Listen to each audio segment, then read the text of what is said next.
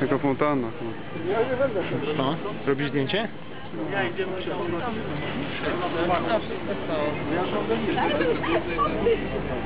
Tu mam tu takie fany przewodnicy. Nie no, nie trzeba. A tutaj ta, ta lapsa to nie, nie nakręca. kurde. Dalej idziemy a ty już? A te, a te filmiki tylko. Zafilmowany jest. A ja wiem,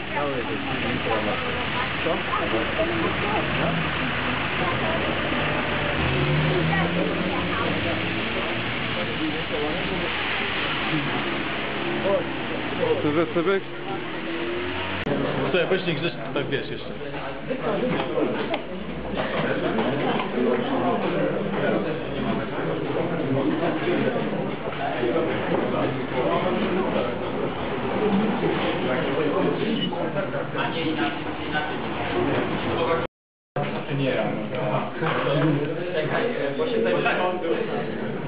tak, jest na miejsca.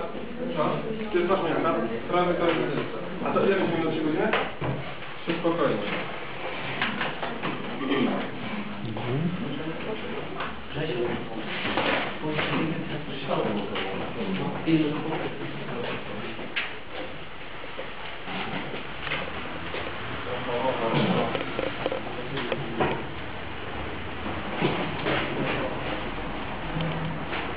no, nie zbyt bogaty, to no, takie wyposażenie y, typowe, czyli jakieś laptopy, jakieś aparaty.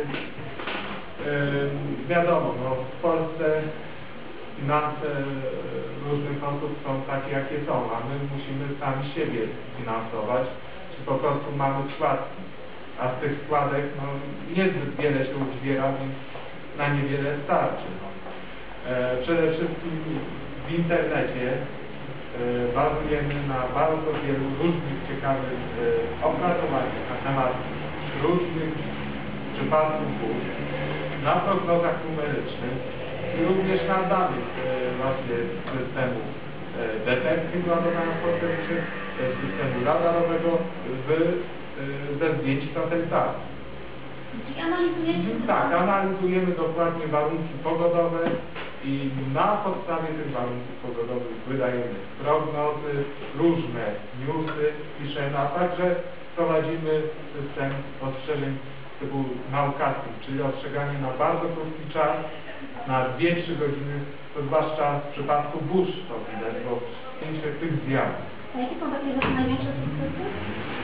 Największymi sukcesami, na przykład 15 sierpnia 2008 rok, bardzo dobrze przewidzieliśmy miejsce wystąpienia najgwałtowniejszych zjawisk atmosferycznych, w tym prąd powietrzny. Zjawiska wystąpiły dokładnie tam, gdzie myśmy określili, że będzie największe zagrożenie. Bardzo podobnie było z potężną burzą wiatrową, która zabiła aż 8 osób, niestety aż 8 osób ponad raniła w dniu 23 lipca 2009. Również w ostatnich dniach w przypadku stron powietrznych nad północną Polską już na dzień przed udało nam się bardzo dobrze przewidzieć, że będzie ryzyko stron powietrznych i w miarę dobrze określiliśmy ten teren, gdzie faktycznie może coś być, coś może zniszczyć, mogą być poważne e, straty materiału. Waszym planem jest o szybkie ostrzeganie, tak? Bo oprócz burz to tak, że jakbyście najpewniej zdjęcia robiliście filmiki. Ja rozumiem, że waszym celem głównie ostrzeganie, tak? Rzeczywiście nazwa się organizacji jest dosyć, e, że tak powiem, narwana. Nieco przerażająca dla niektórych, ale zgadza się. To jest pojęcie szerokie. Szerokie zainteresowanie burzami. A łowcy burz nazwa jest dosyć marketingowa, więc to się sprzedaje dobrze. Udzielają bardzo przydatnych informacji. Potrafią e, dokonać, e, sfotografować na przykład miejsca zniszczeń, co bardzo ułatwia rozstrzygnięcie takiej sprawy jak na przykład domniemanie. Ktoś powie, że była gdzieś trąba powietrzna, to ostatnio w mediach jest szeroko nagłośniane, gdzie jakiekolwiek zniszczenia spowodowane wiatrem, mówi się, że to jest trąba powietrzna. My jesteśmy w stanie, powiedzmy, na podstawie danych fotograficznych rozstrzygnąć takie problemy. Ponieważ pewne zjawiska pogodowe e, dają charakterystyczne szkody. I właśnie na podstawie danych dostarczanych przez takich sympatyków często udaje nam się po prostu zweryfikować poprawność pewnych założeń. Ja mam takie pytanie. Ja rozumiem, że jesteście stowarzyszeniem, nie, znaczy grupą ludzi pasjonatów. A jak wy jesteście właśnie przez tych specjalistów Państwowe Służby e, potraktowani jako, e, e, nie wiem, korzystają mimo wszystko z tych waszych pouczeń, czy, czy jako, nie wiem, e, umoczają was?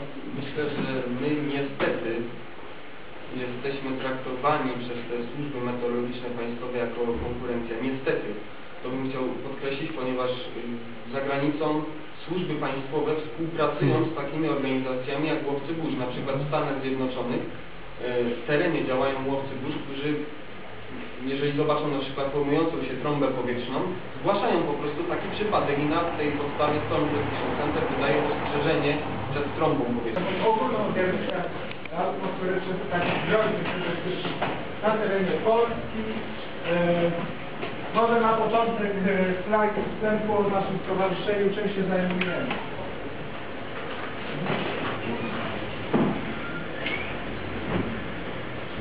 No i tak, no nasze stowarzyszenie jest studia patronatów, obserwatorów zjawisk atmosferycznych. Działamy od 2008 roku. Z każdym rokiem stanowimy coraz liczniejszą grupę osób.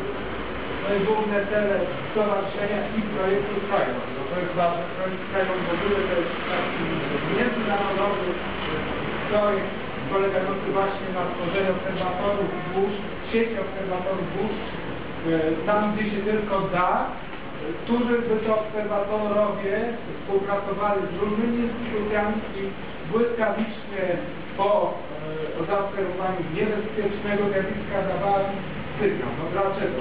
Dlatego, żeby po prostu można było ostrzec, ludzi. E, ludzi e, przed zjawiskami meteorologicznymi czasami niestety wymaga tego, żeby ktoś dane zjawisko e, zobaczył, bo na przykład dane radarowe czy dane obserwacyjne e, z urządzeń meteorologicznych nie wskazują, żeby na przykład istniała jakaś silna trąba powietrzna albo e, silny poryw wiatru, a tu nagle się okazuje, że taka burza o nietypowym kształcie, e, nietypowych cechach daje różne niebezpieczne zjawiska. No, również prowadzimy stronę internetową, e, tam można znaleźć e, aktualności oraz e, ostrzeżenia o gwałtownych zjawiskach atmosferycznych na terenie naszego kraju. Popularyzujemy wiedzę o niebezpiecznych zjawiskach atmosferycznych. Nasza strona internetowa już coraz więcej tej wiedzy zawiera, można ją sobie właśnie przejrzeć, poczytać różne ciekawe artykuły. No i wymiana informacji o gwałtownych zjawiskach pogodowych między stowarzyszeniem a innymi organizacjami zajmującymi się podobną działalnością. Czyli mówiąc krótko, na przykład mamy taką europejską e, bazę o zjawiskach atmosferycznych, o groźnych zjawiskach atmosferycznych. Na przykład z ramienia Polski my tą bazę moderujemy tylko odnośnie terenu Polski, prawda? I zgłaszamy tam różne raporty. Te raporty czasami potwierdzamy albo po prostu po potwierdzeniu, że jest to jakiś błędny raport, to je kasujemy. Po prostu taka typowa, e, typowe właśnie przekazywanie informacji w świat. Zawsze widać, że moc ładowania nie tego. Weź, weź. Ja tu chciałem zwrócić jeszcze na typy zładowań, bo tutaj bardzo dobra grafika jest. Typowe ładowanie doziemne o polaryzacji ujemnej. Tam na brzegu tej chmury mamy tak zwany z jasnego nieba, czyli wyładowanie dodatnie, które jest oddalone od chmury i to te słynne gromy, to nagle niby pogoda jest, a ktoś, kogoś tam zabiło. Są też chmury, yy, przepraszam, ładowania wewnątrzchmurowe, no i takie ładowania idące z chmury gdzieś tam, nie wiadomo. Nie wiem. No tutaj e, mamy piękną grafikę, jak piorun uderzył w drzewo. Dlatego właśnie e, e, wyładowania są głównymi zagrożeniami podczas burz. No, ludzie przede wszystkim popełniają podstawowe błędy, często ze swojej niewiedzy niestety. Właśnie stoją pod drzewami w czasie silnej burzy z z wyładowaniami atmosferycznymi, ale to jest nawet nie to, bo nawet burza z dwoma wyładowaniami potrafiła zabić odbiorna. Tak, była taka sytuacja naprawdę. I to nie tak dawno. E,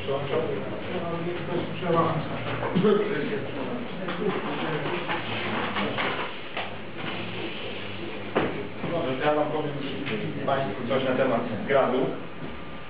Będą jakieś podstawowe informacje, warunki jego formowania.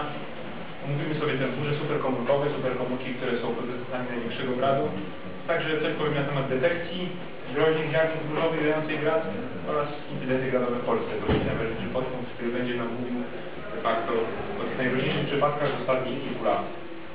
Można dalej. No to to jest gaz oczywiście opad w postaci grup lodowych, silnicy przynajmniej 5 mm. Zjawisko gradu każdy widział, występuje cały rok. Jest częstsze być może w porze chłodnej, natomiast największe gradziny pojawiają się w porze letniej. Nie wiem, jakie Państwo widzieli największe gradziny, natomiast ja mogę na centymetr. że paradoksalnie dla kogoś mogłoby się wydawać, po 30-stopniowych upałach pojawiają się największe wpływy lodu. No. Mogłoby się wydawać absurdem, ale nie jest. No, Im większy grad, tym większa jest prędkość spadania. No, z czego to wynika? Gdyby nie było atmosfery, nie byłoby powietrza, to wszystkie przedmioty spadają tak samo. Natomiast tutaj w przypadku gradu siła grawitacji rośnie proporcjonalnie do objętości, a siła oporu powietrza proporcjonalnie do powierzchni. Stąd się bierze ta różnica. No, grad dwucentymetrowy uznajemy za groźny. Tutaj zderzyły się rozpalił. Właśnie o tym mowa, superkomórki i doliny wychodzą się inne burze, to jest bardzo istotne. Gwiazd może być tak, a może być inaczej. Jeszcze do tego dojdę, jeszcze powiem o tym chwilkę, że w Stanach Zjednoczonych był przypadek superkomórek w latach 90.